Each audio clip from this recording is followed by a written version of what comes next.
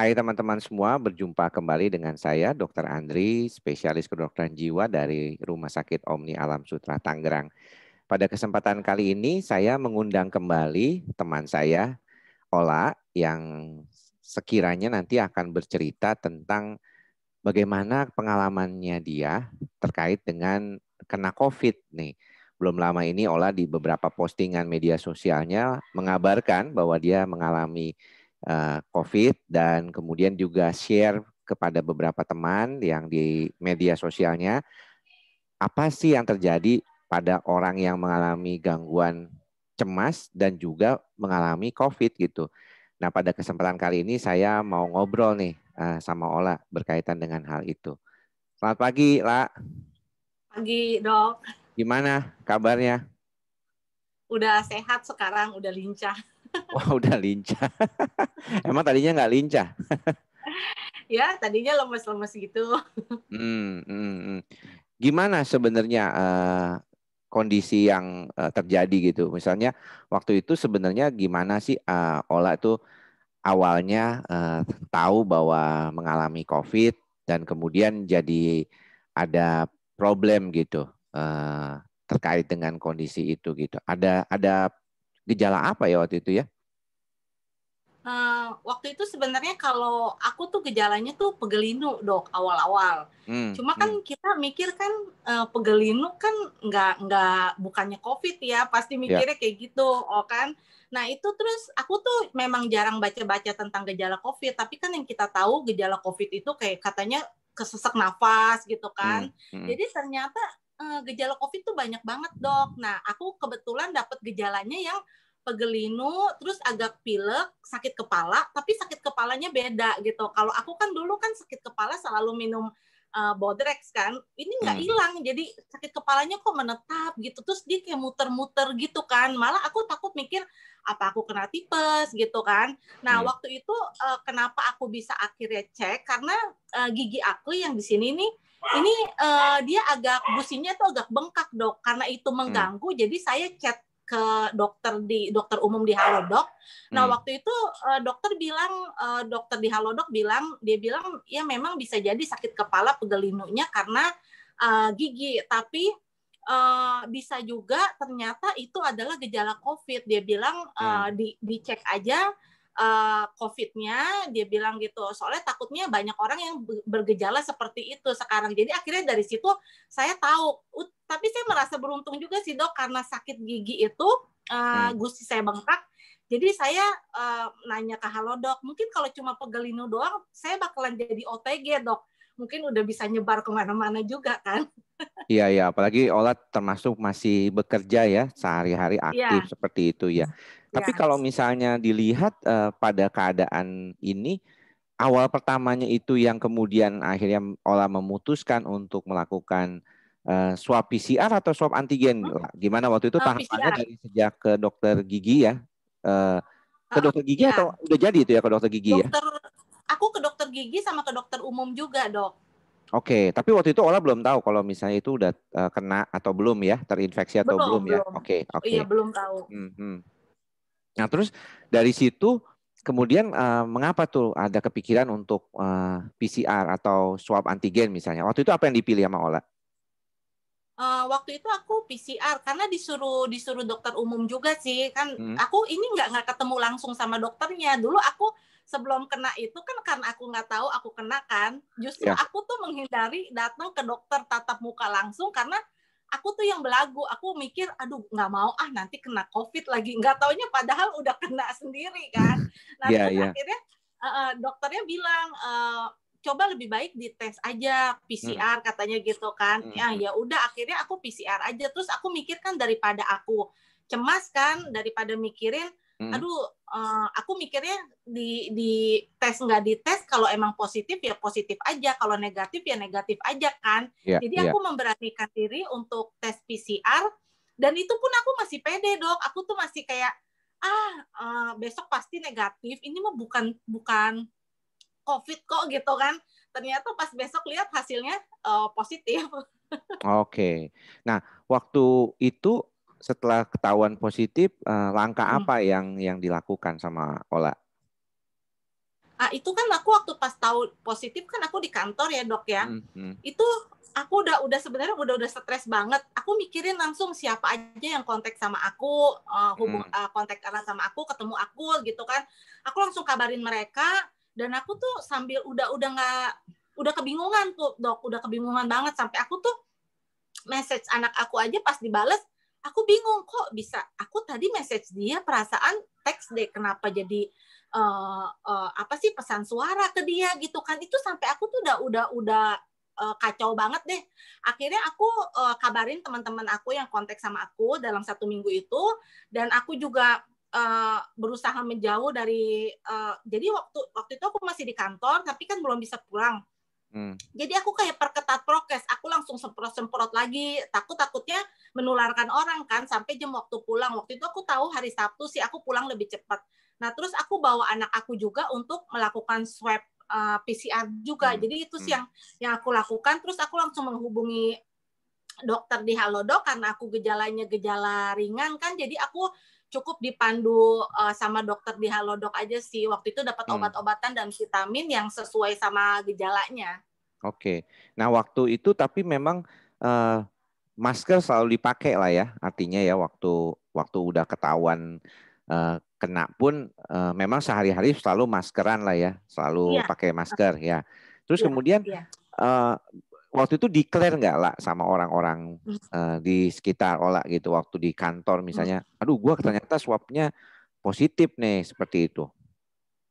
Aku sebenarnya awal-awal enggak dok, awal-awal aku enggak, tapi aku langsung uh, uh, Seninnya itu kan hari Sabtu kan aku tahu kan, hmm, aku hmm. pulang hmm. cepat, aku nggak bilang dulu karena aku kan takutnya yang lain juga panik saat itu pun aku pun panik gitu kan aku takutnya aku sebenarnya ini mikirin orang banyak gitu. Jadi aku mikirin si ini si itu yang aku ketemu gitu kan. Terus aku hmm. juga mikirin teman-teman di kantor. Tapi kan aku mikirnya gini pas saat itu aku tidak buka masker aku nggak ngapa-ngapain aku langsung isolasi mandiri waktu itu. Jadi aku nggak hmm. nggak sempet kasih tahu teman-teman. Terus tapi aku pantau sih mereka gitu kan terus aku tanyain tiap hari eh, eh ada sakit nggak? Ada ini nggak? Mereka bilang aman kok aman gitu kan. Jadi pas udah uh, semingguan aku baru kasih tahu ke mereka bahwa aku covid dan aku harus istirahat lebih lama lagi gitu.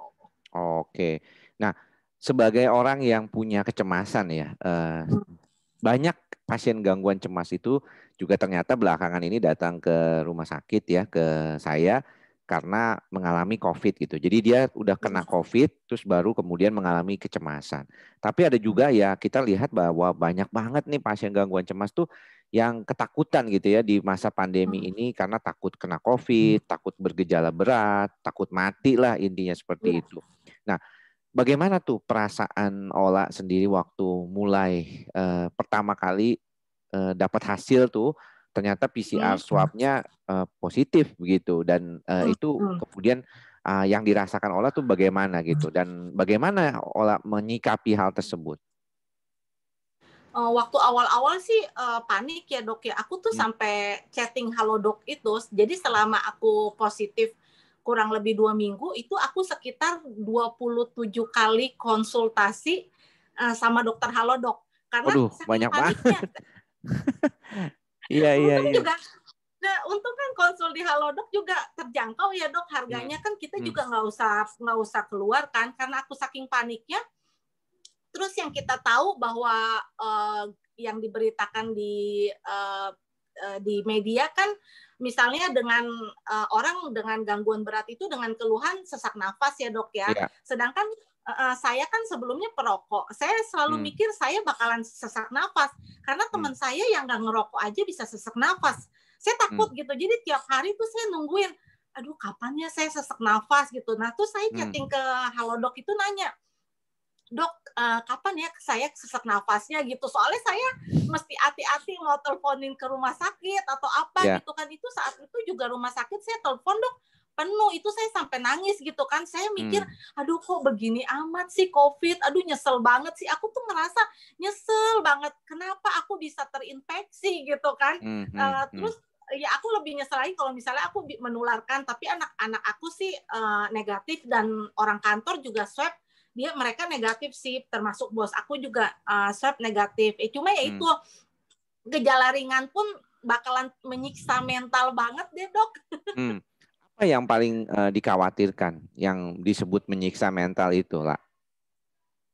Uh, itu uh, kan kita takut takut bakalan gejala parah kita kan nggak ngerti aku kan nggak ngerti kan aku nggak hmm. ngerti nih covid ini kayak gimana sih gitu hmm. terus hmm. aku juga di rumah kan isolasi sendirian anak aku aku ngungsiin jadi aku takut tiba-tiba apakah bisa uh, aku kan uh, pasien cemas juga ya dok ya. Hmm. Dulu aku sering bilang kan ke dokter waktu kita konsultasi dok, aku nanya dok apakah aku bisa pingsan mendadak gitu kan? Nggak hmm. nggak covid aja takut pingsan mendadak kan yeah. apalagi pas covid aku takutnya uh, nah, apa oksigen aku tiba-tiba turun kayak gitu hmm, jadi hmm. itu banyak yang yang bikin ketakutan kayak gitu-gitu sih dok yang terus hmm. aku bahkan nih aku bahkan begonya aku nih ya aku sampai ngelihat ke kaca ngelihat muka aku pas lagi covid yang pas awal-awal terus aku merem-meremin mata sambil aku ngintip ke kaca aku sambil mikir begini sampai sampai kayak gini mikirnya. Oh begini tuh muka aku kalau aku mati gitu. Jadi sampai sampai. Sudah mikirnya memang ketakutan yang dasar ya yaitu kematian ya. Biasanya memang orang ya, gangguan ya, cemas ya, tuh ya. mengalami itu. Nah, tetapi menurut Ola sendiri tadi sudah di apa ya dikatakan bahwa mungkin ada konsul sampai 27 kali ke Halodoc ya, ya ke aplikasi. Kemudian ada beberapa orang tuh uh, memang sekarang kan uh, yang isolasi juga diharapkan katanya beli oximetri ya, oximeter iya, iya, ya. Iya, Dan uh, apakah olah terus jadinya pegang oximeter terus ditaruh terus di jari atau hanya sekali-sekali atau bahkan setiap jam begitulah? Bukan setiap jam lagi dok, setiap berapa menit saya ini kan ya wajar lah orang-orang hmm. cemas ya hmm. dok ya. Hmm. Jadi kalau misalnya berasa pusing dikit, oximeter yeah. enak dikit oximeter gitu. Terus hmm. makanya hmm. aku bisa chat sama 27 kali konsultasi sama Halodoc. Hmm. Itu dokter jantung, dokter paru, sampai dokter gizi pun aku aku chattingin gitu. Jadi hmm. Hmm. apa gizinya seimbang nggak nih? Jadi kayak semua nih sampai ngeri banget kayak gitu kan. Hmm. Jadi kayaknya hmm semua harus aman gitu dok dari jantung. Terus akhirnya aku juga pas udah pulih aku tes darah terus aku ronsen paru-paru semuanya gitu. Jadi ya gitu. Jadi kecemasannya tinggi banget deh. Nah kalau misalnya untuk gejala paniknya itu muncul nggak lah waktu itu lah masalahnya. Ah muncul. gimana tuh lah hmm. uh, waktu awal-awal sehari dua kali dok pagi sama hmm. sore. Hmm. karena kan kalau sore kan memang saya kan uh, dulu dokter pernah cerita ya kalau setiap azan maghrib kan saya uh, kena kena uh, serangan panik kan. Mm-hmm. Nah terus sekarang juga jadi mulai muncul lagi itu uh, serangan paniknya. Mm. Nah waktu itu kena aku kena pagi karena waktu itu aku lagi nunggu hasil swab anak aku. Jadi kan anak aku di swab hari uh, Sabtu kan. Yeah. Terus katanya hari Senin jadi. Eh pas hari Senin jadi hari Minggu bangun udah kena panic attack. Jadi mikirin dok, aduh hasilnya bagaimana ya. Terus hari Senin mikirin lagi gitu kan. Ternyata hasilnya mundur lagi ke Selasa kan. Jadi aku tuh hmm. setiap mau nunggu hasil, aku kena panic attack gitu. Terus sampai sampai dua minggu jadi kayak ada kan ada satu teman aku yang terinfeksi juga kan sama katanya sih kena sama aku cuma kan kita nggak tahu ya dok ya virus dari mana juga kan iya. apalagi yeah uh, teman aku pun juga nggak nggak bukannya yang di rumah aja. Jadi setelah ketemu aku pun dia masih ada pergi kondangan lah atau gimana yeah. gitu. Aku juga nggak tahu kan. Tapi perasaan bersalah itu muncul di aku. Nah, hmm. nah aku itu ternyata tipe orang yang uh, eh, self blamingnya tinggi. Jadi kalau pas lagi self blaming gitu nyalahin diri sendiri nah itu si panik makin muncul. Jadi aku pikirin ke mana-mana dan itu walaupun setelah hasil anak aku keluar negatif, aku agak lega dikit kan sampai uh, sempat sehari atau dua hari lega tapi karena aku mikirin temen aku dan aku ngerasa bersalah banget akhirnya aku tuh sampai kena panic attack sekitar dua minggu lah dok sampai hmm. aku bisa nerima bahwa itu bukan salah aku akhirnya ujung-ujungnya ke penerimaan gitu kan aku menerima yeah. akhirnya aku berpikir oh itu bukan salah aku gitu kan. Kalau hmm. sampai dia hmm. tertular aku pun nggak tahu kan. Selama ini aku main sama dia berapa tahun aku nggak pernah menularkan penyakit gitu kan. Cuma ini kan nggak sengaja kan dan juga belum tentu dari aku. Dari situ pas ketika aku nerima malah panic attack-nya nggak muncul sampai sekarang. Ya ya ini betul. Mungkin ini yang perlu diperhatikan juga ya oleh teman-teman bahwa ternyata ketika kita itu mengalami suatu perubahan di dalam kehidupan kita yang mungkin kayak Ola itu kan tiba-tiba banget gitu ya perubahannya tadinya Ola kan terakhir kita ketemu di YouTube channel ini kan Ola kalau nggak salah lagi di Bali di ya. Bali. Nah, jadi kayaknya tadinya udah bisa menerimanya kondisinya oke okay banget dan tiba-tiba Ola mendapatkan uh, sesuatu hal yang dikhawatirkan dan ditakutkan oleh banyak orang pada keadaan hmm. saat ini. Iya, Ditambah lagi tadi ya ketika melakukan tracing mandiri lah intinya Ola mendapatkan hmm. temennya seolah-olah kayaknya mungkin uh, tertular dari dirinya dan mm. mengalami hmm. suatu apa ya saya self uh, blaming gitu ya atau menyalahkan yeah. diri sendiri gitu. Nah, saya mau tanya lah, uh, Ola kan uh, pernah cerita bahwa Ola masih minum obat-obatan dari psikiater ya. Nah, hmm, uh, bagaimana lah untuk saat ini? Apakah misalnya um, bukan saat ini, sorry, tapi waktu lagi dalam kondisi uh, kena COVID itu ya, masa inkubasinya, kemudian uh, masa recovery-nya, Ola tetap hmm. minum obat atau tidak? tetap dok itu yang antidepresan itu yang dari dokter aku masih tetap minum yang senade okay. itu ya, ya karena setralin ya, ya isinya ya hmm. uh, uh, aku masih sampai sekarang masih minum dan kemarin kan kena panic attack yaitu hmm. aku hmm. minum hmm. minum apa uh, masih minum uh, alprazolam untuk ngilangin paniknya dan ketika mau nerima hasil anak ketika itu aku tuh minum minum visium dulu dok karena buat oh. jaga-jaga gitu kan. Iya iya iya. Saking ya. saking saking panik ya dok. Jadi kayak hmm. kayak gitu. Tapi aku masih tetap minum obat-obatan psikiatrinya. Iya iya. Nah kalau misalnya dari apa yang terjadi gitu ya lah uh, yang kemudian uh, olah alami uh, hmm. berapa lama lah kemarin itu sampai akhirnya uh, istilahnya tuh olah bisa kembali bekerja lah Uh, memang kan inkubasi itu biasanya tuh tiap orang beda-beda ya, uh, apalagi di HRD hmm. ya. Kalau saya nggak tahu di tempat olah bekerja ya.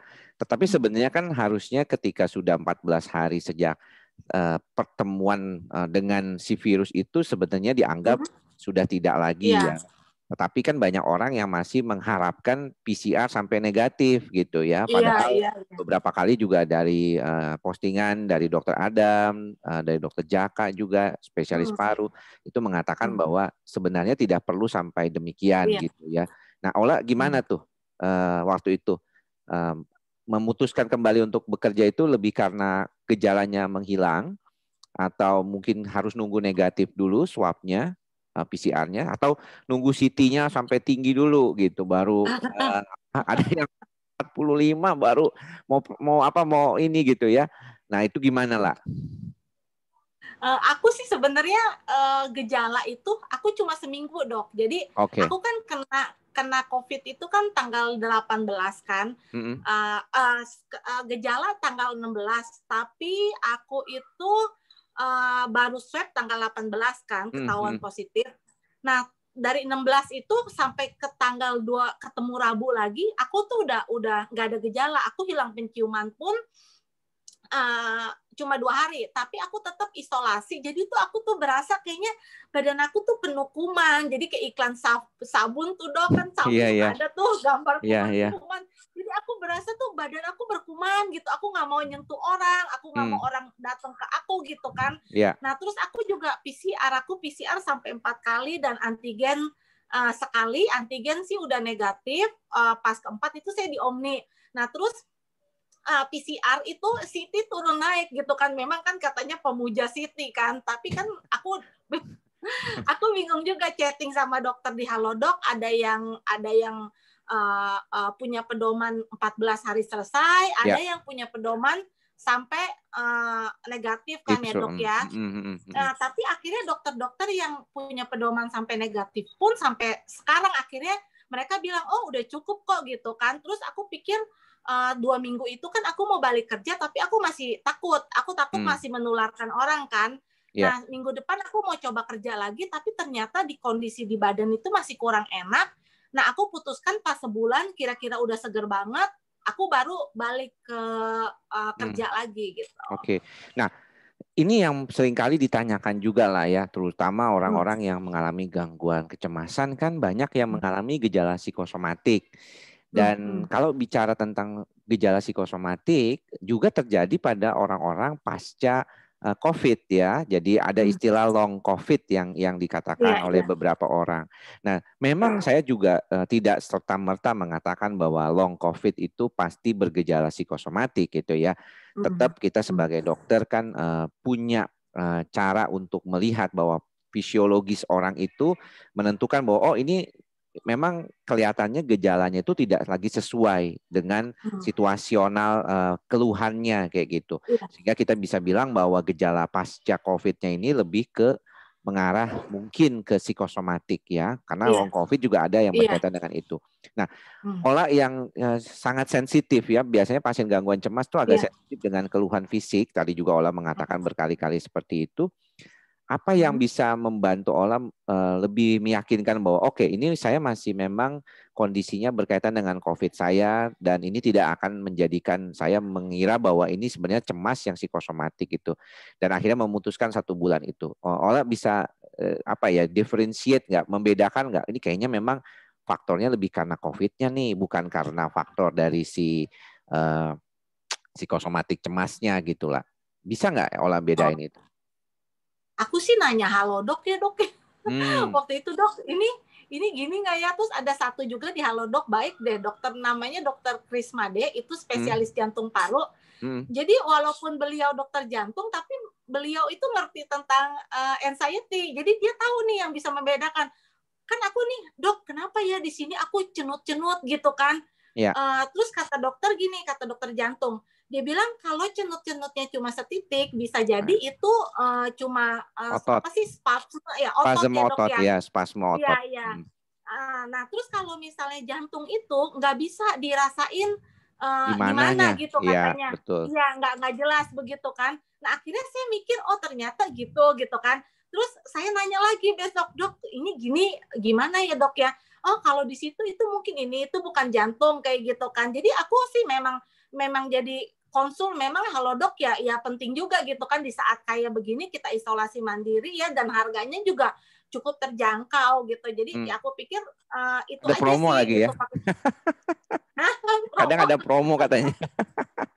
ya ini ini bukan iklan ya sorry ya teman-teman. Ini kita tidak tidak ada endorsement dengan dengan ya, aplikasi itu ya. Cuman memang Ola terbantu. Karena saya lihat di media sosialnya aja Ola sampai terkagum-kagum dengan dokternya nih iya iya.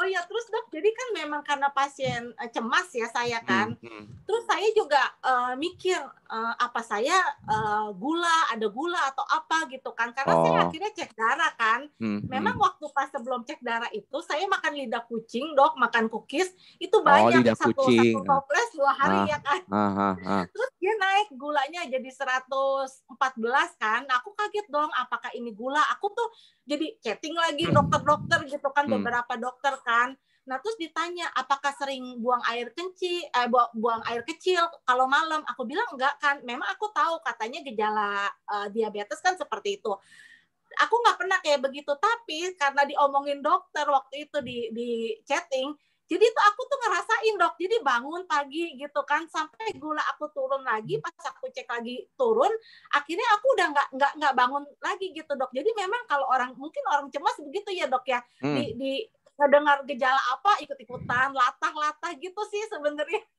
Ya mungkin ya tadi juga salah satunya Itulah dulu mengapa saya suka pernah bilang bahwa uh, untuk pasien gangguan cemas itu lebih baik mungkin tidak terlalu banyak mendengarkan atau membaca hal-hal yang berkaitan dengan uh, gangguannya gitu ya.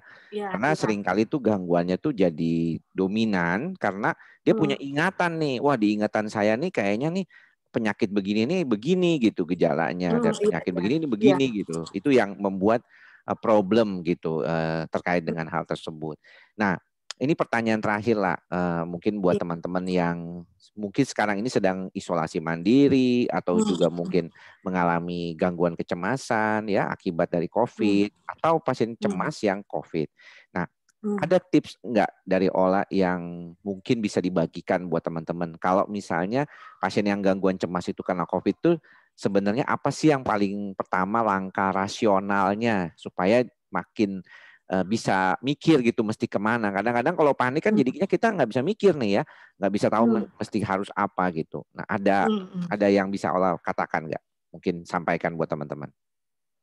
Uh, mungkin ya itu yang tadi dokter bilang oximeter itu penting ya. Jadi kan hmm. buat daripada kita berasa oh kurang oksigen gitu kan mau pingsan. Jadi itu oximeter menurut aku penting sih gitu kan. Terus uh, kalau ada uh, buat ngukur suhu juga nggak apa-apa sih gitu kan. Kadang-kadang kita tuh dok berasa berasa demam dok, berasa hmm. demam tapi nggak demam gitu kan. Kalau hmm. cuma berasa doang kan berarti itu kemungkinan panik kan aku juga nanya ke dokter di di halodoc lagi gitu nah yeah. terus jadi uh, itu ini aku aku demam apakah aku uh, parah lagi gitu kan dia bilang ini berasa demam apa demam beneran berasa demam kita kan butuh berarti uh, cek suhu juga per, perlu selain oximeter terus uh, uh, buat cek suhu juga hmm. terus uh, sama vitamin gitu kan terus ya perhatiin sih kita lebih aware sama gejala tubuh kita kita jangan tolak juga gitu kan. Apa yang kita rasakan ya ya kita kita sadari itu ada gitu kan. Nanti kita bisa juga sih uh, apa sih kalau misalnya mau chatting ke dokter atau misalnya mungkin mau nanya dokter Andri kira-kira ini terkait sama psikosomatik ataukah hmm. ini gejala covid ya mungkin bisa bisa ditanyakan sih kalau menurut aku kayak gitu. Terus uh, uh, kalau misalnya kita serumah kan aku kan uh, kebetulan anak aku sih aku ungsiin tapi setelah anak aku balik karena dia harus sekolah dan itu tuh aku di rumah masih tetap pakai masker buat pastiin. Yang penting sih protokol kesehatan walaupun di dalam rumah itu tetap nggak boleh lengah dok. Aku semprot semprot terus pakai alkohol biar biar apa tuh biar virus nggak nempel dan tidak menularkan anak aku sih gitu. Jadi protokol kesehatan di rumah pun harus tetap aja gitu. Iya, sebenarnya itu hal yang sangat penting ya menurut saya karena hmm. kadang-kadang kalau kita suka lupa adalah bahwa kita kalaupun sekarang ini terkena pun ya ataupun tadi kayak Ola yang mengatakan bahwa saya tuh nggak tahu loh kalau saya tuh terkena gitu awalnya gitu ya dan itu memang bisa terjadi makanya kenapa selama masih pakai masker dengan baik karena itu droplet kan ya yang nempel gitu. Hmm. Makanya kan